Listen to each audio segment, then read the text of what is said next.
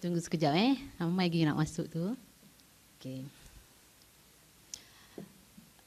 Bismillahirrahmanirrahim. Uh, the topic uh, which has been given to me is a bit tough. Okay, in the sense that um, I'm not the expert in the Islamic scholar, and not, I'm also not the expert in the plastic surgery, but I would try my best to deliver the, the topic. Okay. Okay, to start with, uh, the topic basically plastic surgery in Islamic perspective. But before we go into detail about the Islamic perspective, we have to understand what, the, what is the meaning of plastic surgery. Okay? When we talk about plastic surgery, this is the image that you might imagine in yourself, right? Okay, look at this picture. What can you understand from this picture? So basically, it shows you basically always woman, okay? And then from old, trying to be young, okay? Worried about being old. And then try to reshape the face to be beautiful. That's, that's why always we associate plastic with woman. But it's not true nowadays actually. Okay, so by definition, plastic surgery means surgery which is performed for correction or restoration of form and function.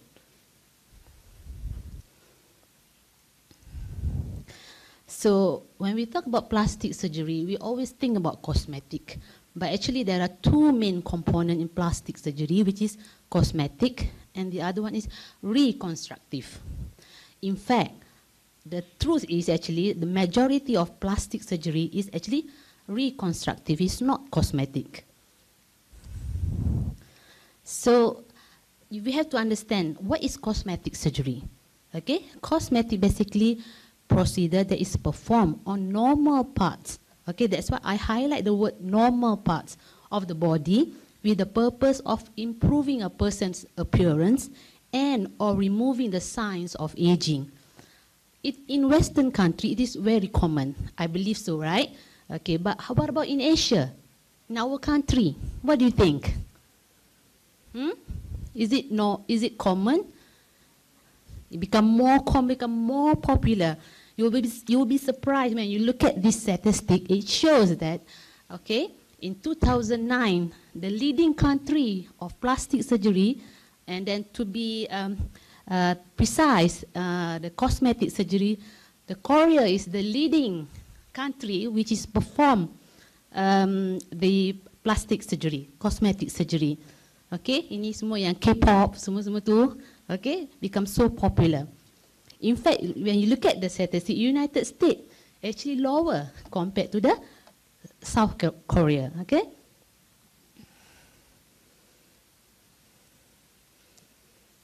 Okay. There are uh, this is the example of plastic surgery. Okay, which is breast augmentation, liposuction, rhinoplasty, eyelid surgery, abdominoplasty. Okay, the word is a bit medical, but um, let me explain one by one. Okay, this is just example.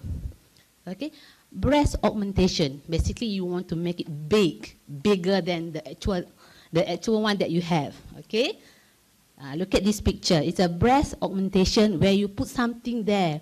If you look at the picture, the white part actually the silicone. So that's why we call it uh, implantation.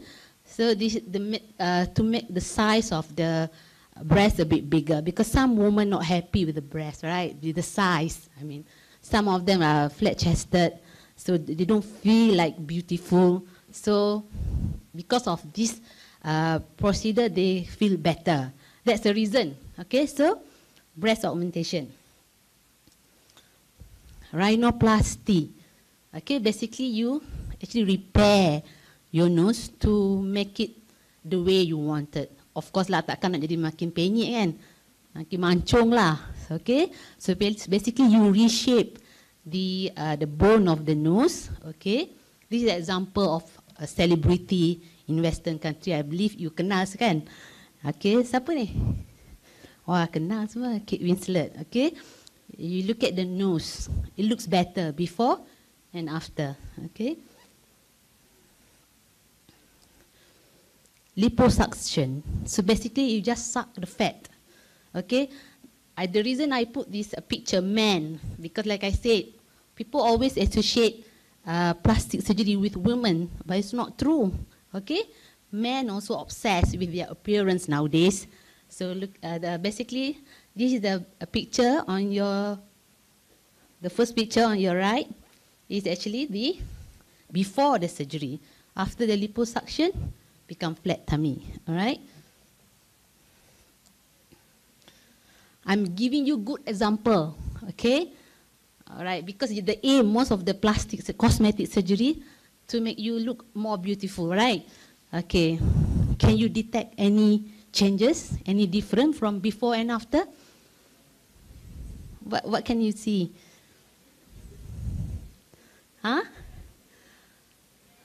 Ah, yes, breast. Oh, really? You can see the breast, the size become bigger. Okay, what else? Look at the chin. Look at the nose. All right. So she become beautiful. More, in fact, before the surgery, she's already beautiful to me. But people are so obsessed, right? Okay. This is a good example, but unfortunately, all right, as you can see, not all actually plastic surgery or to be precise is cosmetic surgery leading to something that you wanted. Sometimes it can cause you disaster. All right? You can see the, semua orang kenal kan? Michael Jackson, okay? Before and after, which one is better? Yes, before it looks better, is it more natural? But now the face becomes so fake. It's like um, totally, totally different person, right? So do remember, even the cosmetic, the aim is to make you be better in terms of appearance, but sometimes will end up you with disaster, okay? This is another disaster story.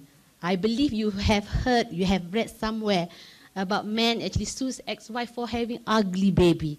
Okay, look at the picture. Both parents are really you know, beautiful. The husband is handsome, the wife is beautiful, but look at the babies, right?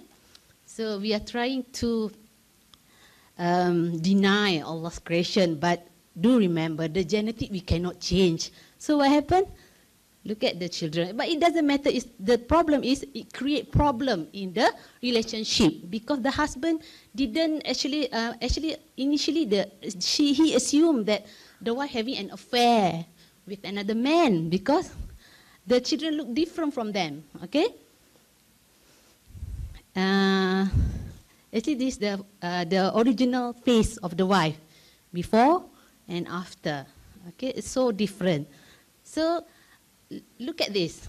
Actually, the aim basically most of the women to look beautiful, to be a better person, to increase your um, uh, confidence when you're actually facing with uh, people, but end up disaster. The marriage rocking and they got divorced. And somehow the husband win the lawsuit. Lah. Okay? Okay, now the next one is reconstructive surgery. Okay, what does it mean? Just now I mentioned there are two main components in plastic surgery. The, uh, the first one is cosmetic, the other one is reconstructive. So basically, reconstructive surgery, it is performed to correct function, uh, functional impairment caused by burns, trauma, injury, and congenital defect. Okay, so basically burn, for example, uh, because of the burn, they tend to get contracture of your elbow, for example. So the function has impaired. So we have to correct that. Okay, congenital defect, uh, for example, cleft palate. Okay, cleft palate, apa eh? Bahasa Melayu apa? Ah, sumbing, yes, sumbing. So, itu semua adalah congenital defect yang kita nak reconstruct. Okay, because the function already impaired. Dia nak swallow susah, breathing sometimes having problem. So, that's the reason why we doing the surgery. Okay, this is the picture uh, of cleft palate, sumbing. After the surgery, looks better, right? You know, just look better, but the aim basically to restore the function. Okay? Okay, just now I mentioned um, breast augmentation or something like that. Sounds like unethical, right? But in certain condition where breast reconstruction is actually something good, we don't call it uh, breast augmentation, but breast reconstruction. Uh, this is for women who actually had uh, breast cancer. They remove the breast, right? So after that, no breast. They feel depressed. They feel the relationship with the husband is a bit, you know, uh, difficult. So we can actually offer breast reconstruction for selected cases. Okay, where um, they take the part of the uh, tissue from the tummy.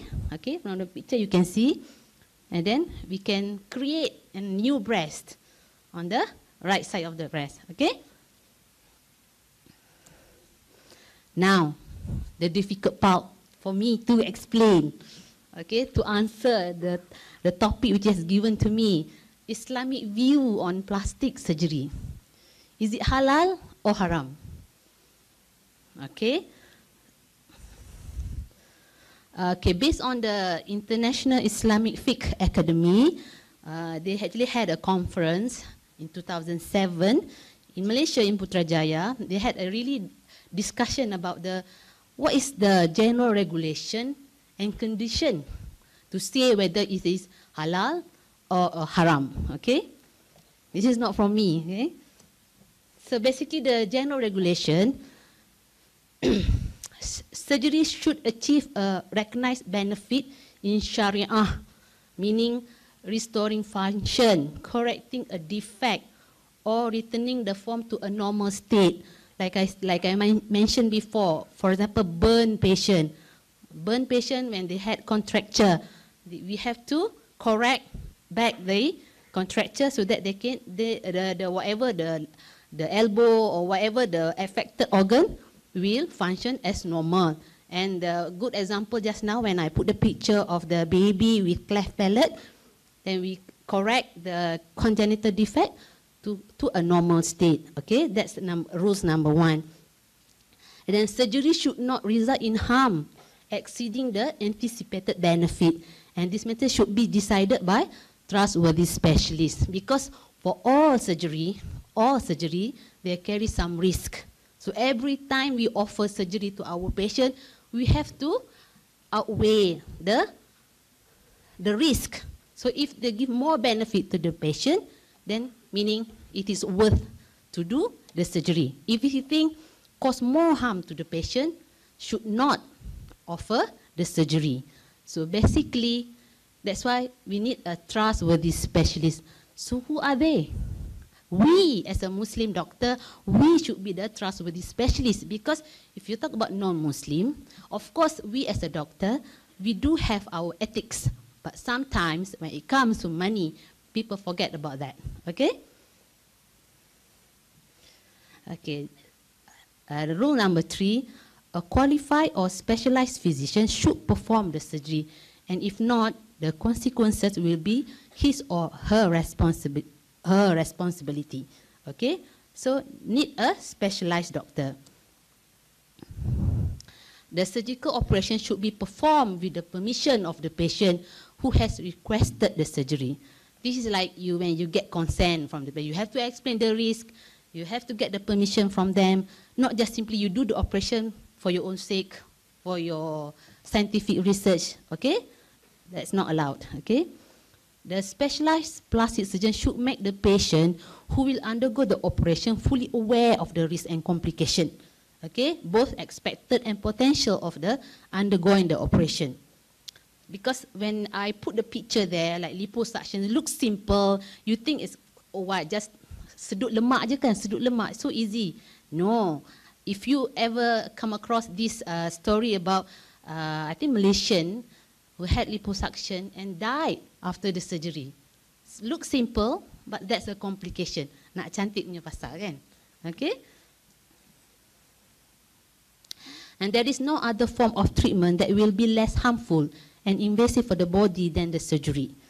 Okay the rules for seeking medical treatment should be maintained.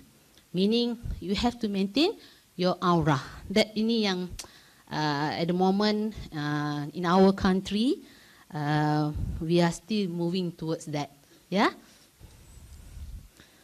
And there should be no violation of the textual evidence in Sharia, such as the Prophet saying, this is something which is um, whatever clearly stated in the hadith. Uh, for example, in this hadith was narrated by Abdullah ibn Mas'ud, Allah has cursed women who tattoo or have themselves tattooed, who pluck eyebrow or have them pluck, and women who separate their front teeth for beauty, altering what Allah has created. Okay? So if you think, because this is quite clear, if you think uh, something go against this, so it shouldn't. You shouldn't allow your patient to have this. Okay. Another hadith narrated by Ibn Abbas, the woman who supplies false hair and the one who asks for it, the woman who pluck eye, eyebrow or have them pluck, the woman who tattoo and the one who has, who, who has it done where it is no disease to justify it have been cursed. Okay, it's very simple. Sounds simple, but it's not easy. Eh? Okay. Another rule. Okay. So when we talk about Sharia rule, it is permissible if, okay, as uh, restoring the form of a part of the body to its original condition in which human beings are created. This is due to the saying of, uh, of Almighty Allah, Verily we created man of the best stature. Alright? So basically, uh, uh, correcting congenital defect also permissible. Removing or severely misshapen feature that is causing the person psychological or physical harm. All right. So if the defect really cause um, psychological disturbance, uh, then uh, you actually allowed to do the correction. Right. So in what condition that it is not allowed to change a person's natural appearance For example, the picture that I showed you before to change the shape of the nose. Even though hidung you bengkok ke, ke apa ke, tak cantik ke, kembang ke, you still can breathe right. You still function like normal. So there is no way you can change the shape of your nose because it's tak cantik, it's not attractive. Okay, the other one is to remove the wrinkle, which is quite popular.